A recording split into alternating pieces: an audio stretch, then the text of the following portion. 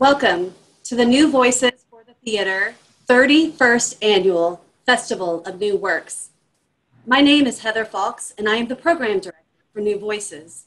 On behalf of SPARC and the entire festival company, I thank you for supporting young artists' work.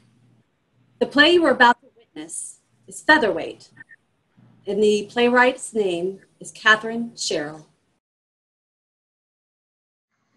Act 1. Time, present day. Setting. The stage is an adjoining kitchen slash living room setup. The kitchen is upstage, a layout of a fridge and table with chairs. Downstage is the living room layout of a sofa and coffee table. Lights up. Girl is standing in front of the open fridge, peering inside, searching for something to eat.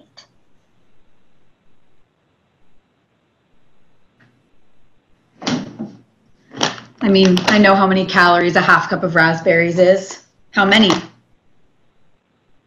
33. Um, a slice of bread is typically 120 calories with 24 carbohydrates. Small egg is 70 calories with 5 grams of protein. Two tablespoons of almond butter is 210 calories with 8 grams of protein. And a large apple a large apple is 130 calories, 34 carbs, mostly sugars. And how much of that did you know before having to log your calories? I mean, the bread, obviously, but that seems like it would be common knowledge. Um, almond butter, I'd never had before, but it's only like a 10 or 20 calorie difference from peanut butter, depending on if it's natural or processed. And I originally thought eggs were 70 calories, but those are just the large ones. What is it you like to tell people? That you accidentally starved yourself? This is hard enough already. What more do you want? Because eating is so difficult. So I must be making more of this than it is. So why don't they all try eating 2,300 calories a day when your stomach is smaller than the size of your fist and see how easy it is? Tell me the pain I feel after eating is just something I fabricated. Well, it's not about pleasure, is it? No, no, it's, it's to fuel my body. So do it. I'm just, I'm just so sick of it all. All the numbers, the food logs, those, those stupid meetings, that scale, and I am so tired of eating. And that's whose fault? So suck it up. That's what I've been doing. I mean, all I want is to be done. And yet, your progress is slow moving. Shut up. You don't think I know that? I can't keep doing this. but you will. You have to. No, no, I'm, I'm done being told what to eat and how much or when anymore. They can't make me. So maybe, maybe you don't want to get better. No. No, that isn't true. Prove it. Eat something. Oh. Hope you enjoy having a feeding tube stuck down your throat. No. No, that is not happening. Not to me. Because, because you're not one of them. Stop it! Anorexic. Oh, and just like that, so willing to give in, to be in pain, suffer, eating to end the doubts. Pathetic. Hmm. Guess old habits die hard. Enough! Enough! I hate you sticks and stones, malnourished, starved, a twig, a tiny living skeleton corpse like one more. Anorexic. That's the biggest pile of BS. Well, no pain, no gain. What is there for me to gain? Wait. You're sick look in the mirror recently? Yeah. Wasn't much to see. Who's sick? Me. In so many ways. Yeah. Yeah. Heart palpitations, uh, possible jacked up liver, incessant shaking, screwy digestive tract, I, I shed, um, extreme weight loss, malnourished. I'm like a self made Barbie doll. Pre serum Steve, as in Captain America? Yeah. What did he give himself? Polio? It's just a joke. Because who doesn't love a little self deprecating humor? Just forget it, all right? I can do this all day. Just stop! Doesn't matter. What does? Self-made. A poor choice of words on your on your part. It always comes back to that. What is it people say? In life, there are no coincidences. I know. But do you? Is it true? No. I don't know. How can you not? Easily. That's not an answer. It's the only one I have. No, it's not. It is wrong. Say it. No. Say the real reason I can't. Why not? Because I. Go on. It's okay. No, it's not. Because if all they say about me is true, if I do have, if I, if I do have anorexia, then I did this to myself. I starved myself almost to the brink of death, and nothing about that is okay. But it can be. You only have to admit it. Then and only then will all this get better. What exactly is better? What does a better me look like? You'll be prettier, like dad says. You'll be more attractive when you get more weight on your bones. Mom won't be disgusted to look at you. It's grossing me out to look at you. Do they know what that's like? What that does? I disgust myself. But why? When I look in the mirror, I hate what I see. But there are times when I see myself, what I've become, and I don't want it to go away. So you did this to yourself. I didn't realize what I was doing. If I had, if I had, I would have, I would have asked for help. I never would have gone this far.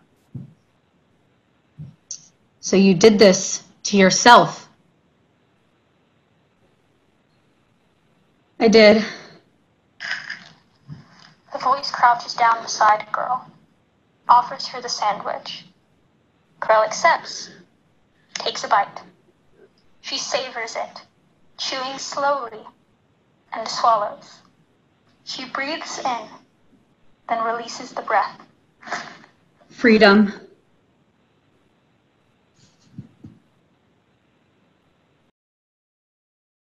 I'd like to invite all of our special guests, our audience members to come on, videos on. Let's give them a huge round of applause.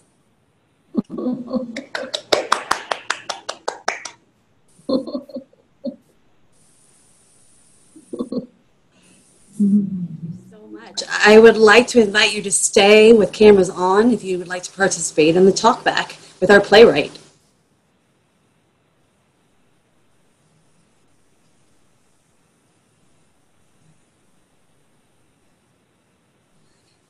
Andrew, if you'll kick us off.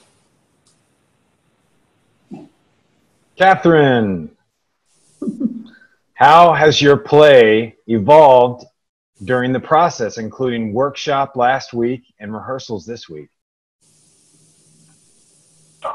That is a very, very it has evolved way more than I ever expected to. I actually, um, in the script before the workshop and everything, there was no like food involved, so the eating when the ending when girl goes and eats the sandwich that wasn't in there, and there was a lot of rewriting of um, lines throughout it. But I mean, it, it was for the best because something even better came out of it than I had gone into this experience with. So that was pretty amazing. And I would say with um, going into the directing process, uh, definitely the voice and girl are actually, as I wrote it, to be played by two separate actors. And um, as you know, we went with one, so that was like definitely the, the biggest shift there. Thank you so much. I'll, I see one of our uh, playwrights has a question for Katheryn.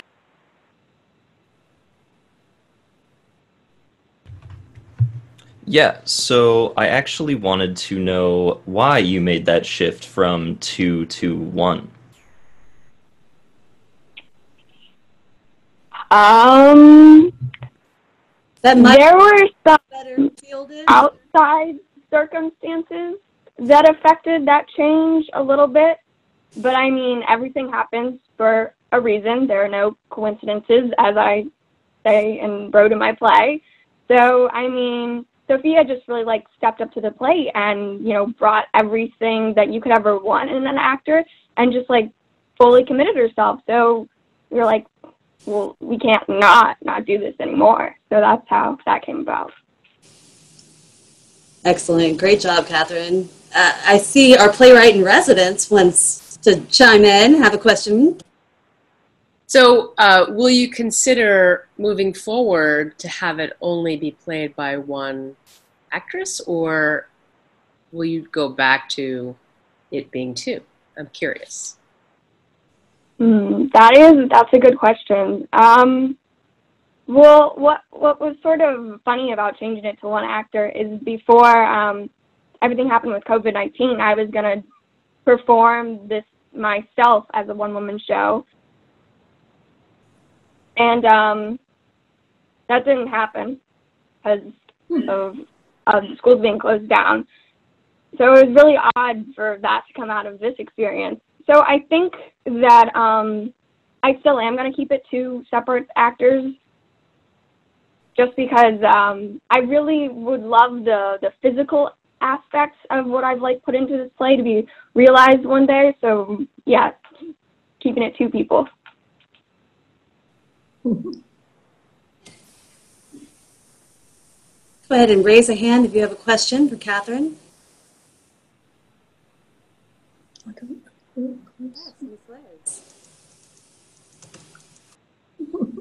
Hi, Katheryn. Um, first, I wanted to thank you for telling this story. It really resonated with me and a lot of my personal experiences, and I don't see a lot of um, culture necessarily that is about this topic. So, thank you for telling that story.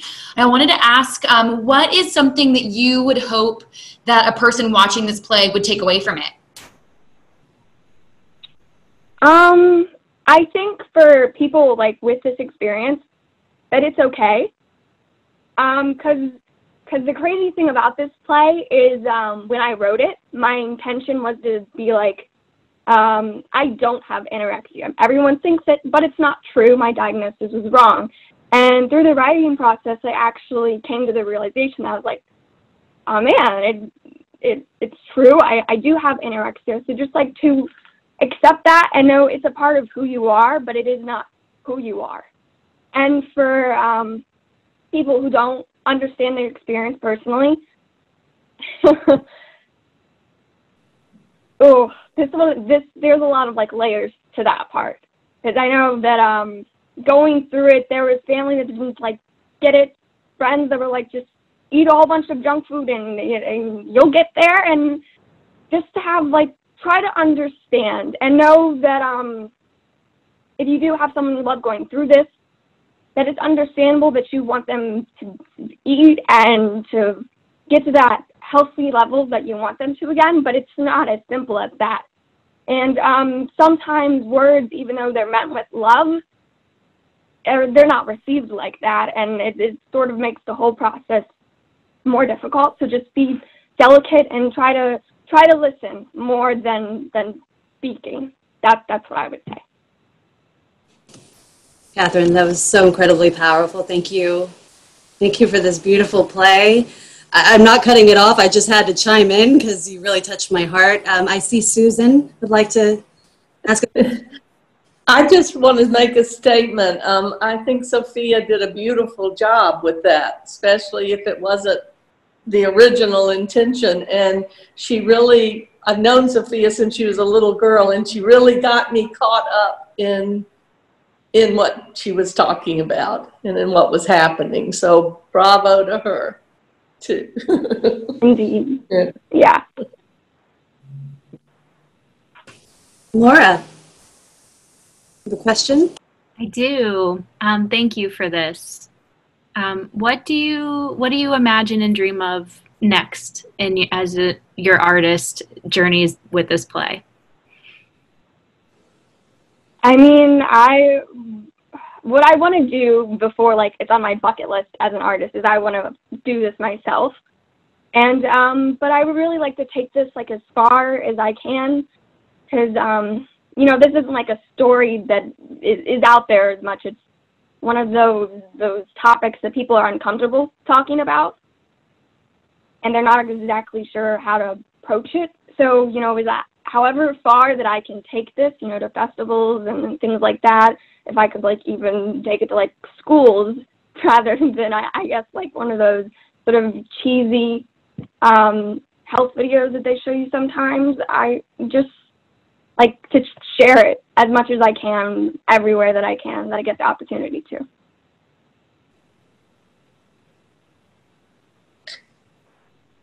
Heather? Yes, Susan. Um, I'd like to just ask the playwright for my own understanding. Uh, so one character is the child battling this issue. The other character, the way it was presented, was her other voice.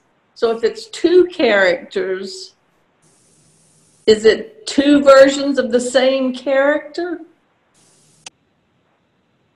Do you understand what I'm asking? Or is it a therapist or is it a parent or is it or is it two I, of I, the I understand. Yeah, um, it's like we all have that inner voice in our head. Right.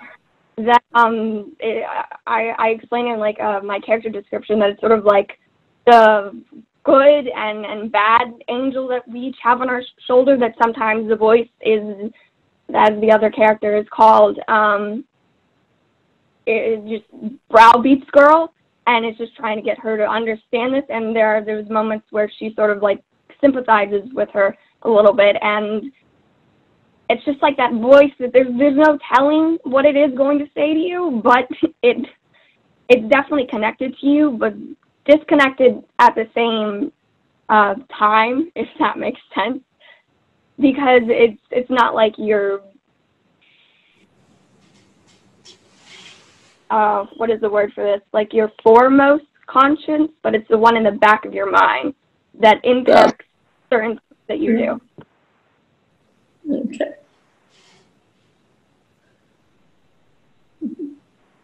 Chelsea Burt. Hello. Fantastic work. Um, my question is I know that this process is really intense and a lot of learning and growth happens. And um, I'm curious if there's any tidbit, any principle, any tool that you know that you're going to be putting in your toolbox as a playwright and artist after this that you either gained from last week in the sort of um, you know, true workshopping, you know, playwrights room or in the rehearsal room that you feel like is going to become part of your process moving forward as a playwright and an actor? Hmm. Um. Let's see. There, there was one thing that uh, Jamie said, something about like, don't be afraid to kill your your darlings, and um, she's the one who actually like suggested that I introduced like physical food into the play, and I was like, I mean, someone else, my my uh, my teacher that had originally like taken me through this process when I wrote it at my school had suggested that at the time, and I've been like, no, I'm not gonna mess with what I have because there was a fear of like messing with the original lines that I had done, like messing with the rhythm to it. And I mean, if I if I hadn't taken that advice that she gave, I wouldn't have the show that you all have just seen. So I mean, that was that was really a big thing. And um, as an actor, let's see. I mean, this show has just really like taught me a whole lot. They're like this entire journey of um, all the different levels there are to explore and to not be afraid to explore any of them because you know if if you let that fear control you you have no idea what it could be holding you back from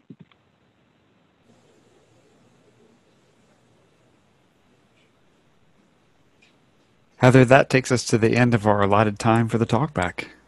What a beautiful note to end it on. No fear. You're incredible, Katheryn. Thank you for sharing your work. Thank you, Shanea. Thank you, Sophia. Great team.